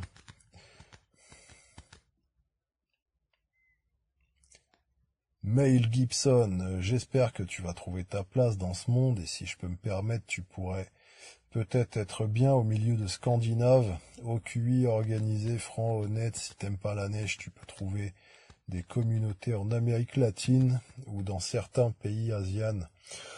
Ah, dans d'autres pays que la Scandinavie, être avec des Scandinaves, euh, je pense que le si tu parles pas leur langage, ça va être chaud quand même. Alors, je sais qu'en Thaïlande, il y a beaucoup de Suédois. J'ai vu ça, il y avait des coins où il y a une vraie communauté suédoise là-bas. Les mecs sont assez nombreux. Hum, après, bon, ailleurs. Mais oui, oui, euh, les, les Scandinaves, c'est, ça correspond plus à ma mentalité. Ouais. Même dans le, même dans le côté euh, tout ce qui est politesse.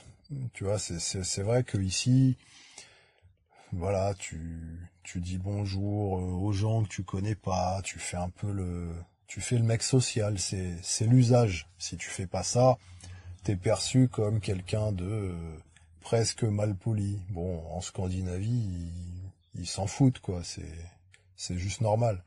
Tu, t'es dans la forêt, tu croises un mec que tu connais pas, bon, tu lui dis pas bonjour. Enfin, c'est, enfin, c'est l'impression que j'ai eue. Voilà, c'est peut-être euh, pas comme ça partout ou ailleurs que là où j'étais, à Oslo. Tintin, attends, quand tu réalises que l'Occident est en train de devenir une extension de l'Afrique, tu réalises que t'as aucun endroit sur Terre où vivre, ce cauchemar. Ouais, ouais, bah ouais, hein, c'est, c'est vrai que ça va être comme ça bientôt. Ouais, j'ai eu une vision de l'Europe du futur. Hmm, ça vous plairait pas, je vous le dis. L'île Dog. Va aux Seychelles, c'est la belle vie, paraît-il. Euh, non, les Seychelles, euh, non, non, ça, a l'air d'être assez pourri comme endroit. Enfin, c'est le truc touristique, hein, c'est le truc fait pour être touristique, euh, ça m'attire pas du tout. Puis c'est des îles, donc c'est des petites îles là-bas. C'est très restreint comme truc. Alors, être restreint sur une île qui serait fantastique où vraiment t'as ton clan, t'as ta base et tout, tu peux être bien, ok. Mais bon, Seychelles, euh, je sais pas, ça m'attire pas moi ces endroits-là. Puis faut faut aimer le côté île, plage et tout ça aussi. Moi, je je, déteste ça. Hein. C'est comme, enfin, je vois que par rapport aux crypto, il y a beaucoup de mecs qui sont allés à Maurice. Mais voilà, il y a il y a Alex qui est allé à, à Maurice, il y a Cédric Froment qui est lui, les surfeurs, il est allé à Maurice. Euh, bon, il y, en, y en a d'autres, c'est des mecs qui aiment bien la plage quand même, j'ai l'impression, qui aiment bien cette ambiance. Moi, j'aurais rien à foutre là-bas. Hein. Un blanc ne peut vivre qu'avec des blancs, reviens parmi nous. En tout cas, merci pour ton XP et les mises en garde qui vont profiter à tous. T'as fait gagner des centaines d'années de vie en cumulé à des centaines de personnes. Ah bah si c'est ça, euh, ouais, c'est c'est super. C'est vrai que bon, euh, bon après je pense pas que mes vidéos vont euh, forcément changer des des avis de quelqu'un qui qui a envie d'aller explorer ça. Quelqu'un qui est peut-être un peu hésitant, oui, enfin vous êtes deux, deux ou trois à m'avoir dit ça. Ah ouais, grâce à ta vidéo, je pensais dans mes euh, dans mes pays peut-être de cibler, euh, j'ai imaginé peut-être l'Afrique. Bon là, vu ce que t'as dit, euh, je vais le rayer de mon plan. Je vais plutôt m'orienter sur l'Asie ou, l'Amérique ou ailleurs. Donc ouais, ouais, bah content que ça vous ait profité. Moi, c'était vraiment un voyage de merde. J'ai perdu du précieux temps là-bas. C'était vraiment une grande perte. Et donc, bah, si ça vous a évité si ça a évité à certains primates de, d'encaisser une telle perte aussi, ben c'est très bien. Non, voilà, surtout, non, n'allez pas en Afrique. voilà. Enfin après, comme je vous ai dit, hein, je, parlais surtout de Mada où ça peut convenir à certains voilà, sous certaines conditions, il y a des trucs à faire. Après, si vous êtes comme moi, vraiment, euh, n'allez pas là-bas, c'est de la merde. Artica Work. Euh, vu que l'Europe s'est cuit pour la liberté, pour avoir bien testé, sauf peut-être un ou deux pays à l'Est, il n'y a plus qu'à tenter l'Asie ou l'Amérique du Sud ou bien la Russie. Ouais, ou il y a d'autres endroits aussi. Après, pour ceux qui ont de la thune, il y a les, il y a peut-être euh, certaines, euh, certains petits territoires, genre euh, Saint-Marin, Monaco, Andorre, tu vois, le, le genre d'endroits comme ça. Je, il y en a peut-être dans le monde qu'on connaît pas et, et, qui peuvent être intéressants. Hum, après, on connaît pas tout, mais ouais, ouais, ouais, l'Europe, enfin, un ou deux pays à l'est, en Europe, ouais, ouais, ça peut être ça. Hein. Faut voir. On verra, je vous dirai si j'y vais. Laurent Houillon, pas compris pourquoi t'es allé en Afrique. Il n'y a pas plus anti-autiste comme continent. Ma seule hypothèse, c'est un genre de naïveté vis-à-vis de l'exotisme du peuple originel. Euh, ouais, il y a un peu de ça. Hein. Comme je disais, euh, voilà, je, moi je, je, je, me disais bon, bah on, on va voir. Je, je m'adapterai au truc et puis les mecs ont l'air euh, d'avoir un style. Euh, bon, euh, ils ont l'air d'avoir un style. Après, tu t'adaptes et puis ça se passera bien. Et je je je pense que c'est le cas. Tu vois, en, Tanzanie, je suis pas resté longtemps là-bas. Hein. Et bon, je le peu que je suis resté, j'ai j'ai vu que quand même ça allait mieux vers la fin. Euh, je commençais à bon déjà toi tu te lasses. Moi moi je j'étais bon public et je suis quand même assez volontaire pour m'entraîner à des trucs à progresser. Peut-être même euh, des fois de manière déplacée. C'est-à-dire que des fois j'aime bien apprendre des trucs qui vont me servir à rien et, et même qui sont pas dans mon style. Donc euh, tu dis c'est c'est anti-autiste comme continent c'est vrai après le truc, c'est que quand tu es dans un pays étranger, justement, euh, les mecs, ils vont, ils vont pas se dire, euh, ah lui, c'est, un autiste, il est bizarre ou c'est un connard ou quoi. Ils vont se dire, oh bah, il est comme ça parce que euh, c'est un, un étranger et donc c'est normal quelque part. Tu vois, tu peux, tu peux avoir une couverture par rapport à ça. Alors qu'en France, les mecs vont te détecter tout de suite, tu vas être catalogué. Et enfin, si tu si, tu mets pas de couverture, hein, je parle. Et euh, et puis en même temps, toi après tu tu peux t'adapter. Donc euh, au début tu commences. Moi j'étais volontaire pour euh, m'entraîner à à pratiquer mon swahili, parler aux mecs, tout ça, glaner un maximum d'infos avec les locaux.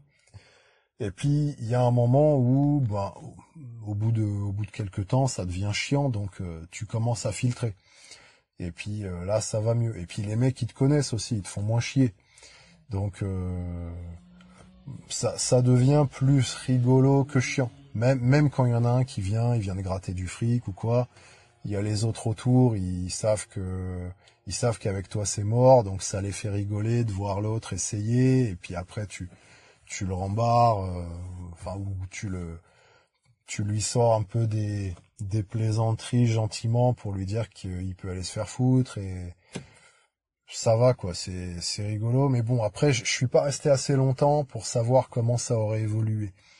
Et bon, je pense que même en tant que que mec introverti tout ça, tu peux être euh, tu peux être OK en Afrique. C'est que à la fin ils te connaissent, ils savent ils savent ils te cernent, donc je, je, pense pas qu'ils vont être si chiants que ça, que qu'ils peuvent l'être au début quand ils te prennent pour un touriste et qu'ils sont tout le temps à, à te taper du fric et à te dire viens voir dans mon magasin et tout. et bon, euh, voilà, ça c'était en Tanzanie. C'était, euh, je, trouve que les Tanzaniens ils sont, euh, le comportement tanzanien il est il est assez homogène et donc, euh, bon, comparé à Mada où tu as une plus grande disparité, tu peux tomber sur des mecs très cool, euh, des mecs chiants, des qui vont t'arnaquer, des qui sont très sympas. Voilà. Donc euh, bon, bah, il fallait y aller, hein, fallait aller visiter. Et de toute façon, voilà, que ce soit l'Afrique ou ailleurs, dans le tiers-monde, ça aurait fait un peu pareil. Donc autant être allé en Afrique, là où c'était bien pourri, comme ça, euh, je, me suis dit que même ailleurs, ça aurait été la même chose de toute manière. Thierry, sympa le podcast, cependant, je pense pas que l'anarchisme puisse empêcher les inégalités. non, mais l'anarchisme, c'est la nature. Dis-toi. Voilà. Euh, et hum, la nature, elle est inégale. Tout est inégal. L'égalité, ça existe que dans les fantasme des, des républicains ou des socialistes ou des gens un peu comme ça. Donc euh, tout le monde est inégal, euh, voilà. Moi je suis inégal à moi de d'hier ou de demain et c'est comme ça. Donc euh, liberté égalité ça marche pas, c'est des mots qui sont opposés donc voilà, l'anarchisme, ça empêchera pas les inégalités, ce qui est très bien, parce que qu'est-ce qu'on a à foutre d'avoir l'égalité? Pourquoi vouloir l'égalité? Je comprends pas les gens qui veulent euh, l'égalité, on s'en branle en fait. Ça sert à rien, pourquoi faire? Et, euh, et après, empêcher des problèmes, c'est pareil, ça empêchera pas des problèmes. Il y aura toujours des problèmes, quels qu'ils soient. Euh, simplement, quand tu es dans une une société permissive, ben, les problèmes euh, sont euh, gérables librement. Et c'est tout. Et après, t'en arrives aussi au concept où euh, tu peux très bien te dire, ben, actuellement, on vit dans une société comme ça, libre. Et l'État, c'est simplement un agresseur comme un autre. C'est comme si tu vivais dans une société sans État, avec des groupes de criminels, euh, des gangs qui venaient agresser, ben l'État c'est l'un d'entre eux et puis euh, voilà, on, est dans une société comme ça. C'est là où euh, c'est ça l'avantage. En fait, euh, tous les tous, tous, tous les mecs qui veulent faire du collectivisme, ils disent bah, l'anarchisme c'est une utopie. Mais alors que même si tu es tout seul sur la planète à penser ça, tu peux l'appliquer individuellement. Et ça marche. Tout seul, tu peux le faire. Alors que, alors que le, le modèle euh, où il faut se concerter, avoir une grosse machine bureaucratique pour prendre euh, la moindre décision, euh, ça, tu es obligé d'être, de te mettre d'accord avec je sais pas combien de personnes et c'est super lourd et, et ça pour eux c'est pas une utopie. Voilà. Et quand on voit de toute façon euh, le résultat qu'ils ont depuis 200 euh, ans avec leur État, bon, voilà, on se demande qui sont les utopistes. Je sais plus si j'avais déjà parlé de ça. Le l'avantage justement, euh, l'avantage volontariste, que tu peux le pratiquer tout seul. Tu peux considérer que tu es déjà dans, dans ce modèle-là et, et que et que voilà, à toi de jouer tout simplement. Skige, moi je pense que tu vas revenir en France, quoi qu'on en dit, même si l'État est l'ennemi numéro un ici, c'est toujours moins pire que les Africains qui essaient de t'entuber à chaque moment dès qu'ils voient un blanc. T'es pas au bout de tes surprises quand on voit comment ils agissent, parlent, passent leur temps à rien faire, tu m'étonnes que leur continent soit dans cet état. Euh, ouais, bah ça y est, je suis rentré. Hein. Simon Charles, putain, je viens de m'offrir un bouquin sur Henri David Thoreau. Ah mais ça c'est une excellente idée. Moi je devrais faire ça aussi. Je devrais lire un des bouquins de ce mec. Je l'ai jamais fait. Ouais, j'en ai d'autres à lire en queue donc. Euh... Derek. Merde alors. Tout ça n'était pas du tout prévisible. Ouais, que je rentre en France et que je me dise ouais c'est ça me convenait pas l'Afrique. Eh ouais bah qu'est-ce que tu veux. Hein. Je je je rigole de ma naïveté aujourd'hui. Hein. Chichico, on perd jamais son temps si on sait apprendre de tout tout est la voie. Bah ouais, mais à condition que ton coût d'apprentissage il soit raisonnable. Et là, bon, euh, tu sais, euh, si tu te prends des grosses baignes euh, qui te qui te renvoient à l'âge du bronze à chaque fois et que tu dis non mais c'est super, j'ai appris des trucs, c'est nul, ça sert à rien. Enfin, c'est c'est trop cher en fait. Si si tu perds un bras, que tu dis ah super, j'ai appris qu'il fallait euh, euh, pas euh, mettre le bras dans le broyeur pour accompagner la branche à plus de tant de centimètres de distance, c'est un peu cher payé, donc t'en as rien à foutre d'avoir appris quelque chose en fait. C'est ça le problème.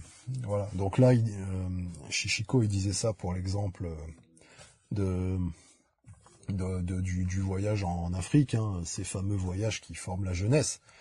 Bon, euh, payer cinq mois, c'était trop cher. Surtout que c'était cinq mois en plus où, euh, bon, euh, j'avais des opportunités de faire d'autres trucs, tout ça, donc j'ai dû euh, prendre une décision, c'est-à-dire cisailler, hein, me, me, couper d'autres opportunités pour faire ça. Et en fait, ça valait pas. Donc voilà, le c'est une perte pour pour pour moi c'est un coût trop élevé enfin après j'ai dû le faire voilà j'avais besoin de le faire tout ça c'est fait. Après euh, c'était cher payé quand même. Ça ça me fait chier d'avoir payé autant cher.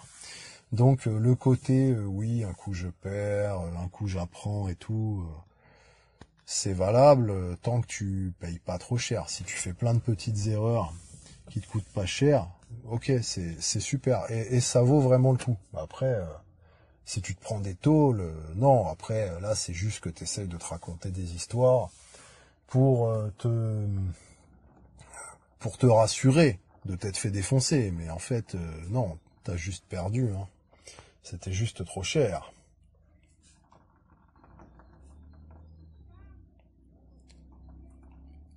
Gonzalez Gilles, dans les pays de l'Est, la vaccination n'est pas obligatoire, voire personne s'est fait vacciner, genre Roumanie, parce que peur de l'État à cause de l'ancienne dictature. En plus, le roumain est facile à apprendre, c'est du latin. Euh, ouais, ouais, la Roumanie, ouais, j'y, c'est, ça, fait partie des, pays aussi euh, dans mon radar. Voilà, après, à voir, on verra. Je sais pas euh, s'ils sont si peu que ça à s'être fait injecter. Enfin, je parle pour le pour le dernier pour, pour la dernière inoculation promotionnée par les maîtres en date. Mais bon, voilà. Oui, je suis d'accord. La Roumanie, ça ça peut être bien. Faut voir. Je sais pas tellement au niveau je sais pas tellement niveau comment dire géographie ce que ça donne là-bas. Après, ça, a l'air d'être des gens très sympas, euh, vie moins chère qu'en France. Euh, bon, et je pense que ça doit être plus cool aussi niveau tyrannie, tout ça. Bon, enfin après, tu me diras c'est facile, mais je veux dire, je pense que il y a moyen, il y a moyen d'échapper à beaucoup de choses par rapport à ici. Donc on verra. Et le dernier com, allez, Yulen qui dit n'oubliez pas, pas de demi-mesure, Dieu vomit les tièdes. Ça, c'est ultra vrai. T'as le, t'as le côté, euh, moi j'appelle ça le half-wit paradoxe.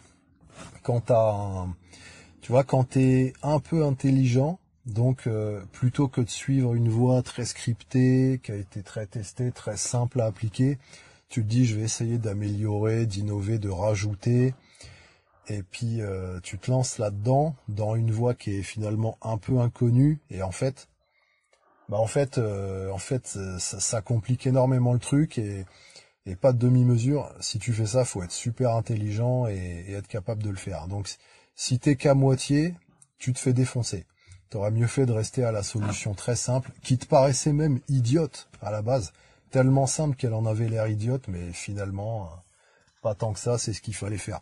Et c'est pareil avec euh, le côté soumission. Donc là, je, pense que c'est un peu plus pour ça qu'il dit ça. C'est c'est le, tu vois, si si tu vas en étant un peu hésitant, tu te soumets partiellement, voilà, bon, euh, certaines questions, tu tu réponds, d'autres, tu mens un peu, mais voilà, en fait, t'as as le cul entre deux chaises. C'est là où tu te fais défoncer. Pareil, si tu te si tu te soumets pendant pendant une certaine période, et puis à un moment, tu dis juste ouais non là juste sur ça, je j'ai pas envie, euh, mais bon, tu dis un non pas très ferme, là tu te fais défoncer. Le mec qui veut te soumettre, euh, et qui te soumettait jusque-là, il se dit ah ouais, ça y est, il se rebelle, ok, bon, on va le calmer tout de suite. Et si tu étais un peu timide, là tu prends euh, deux fois plus qu'avant. C'est ça. Pas de demi-mesure. Faut y aller à fond ou pas du tout, pas d'hésitation. Voilà. Euh, j'ai un autre exemple de ça quand quand tu conduis sur la route. Il y a des fois tu prends des décisions faut être franc et les faire vraiment. Si tu y vas à moitié, euh, tu, risques un accident parce que c'est merdique. Tu vas avoir un mauvais timing si t'hésites, alors que sinon ça passait. Voilà, ce genre de truc. Ça me fait penser à ça. Donc euh, ouais, n'oubliez pas, Dieu vomit les tièdes. Eh bien, content d'avoir fait cette vidéo. Combien de temps ça dure jusqu'ici, eh, quasiment, euh, quand même euh, plus d'une heure trente là, une heure trente. Je vais au montage parce que il y a eu quelques blancs. Je coupe les, je coupe les blancs euh, quand je fais des vidéos comme ça. En fait, des fois le, le temps de chercher un peu les, les coms, voilà, je, il se passe du temps, donc je fais des cuts après pour rapprocher les, les moments où je parle. Je vous laisse pour aujourd'hui. Euh, content que vous ayez entendu jusqu'ici.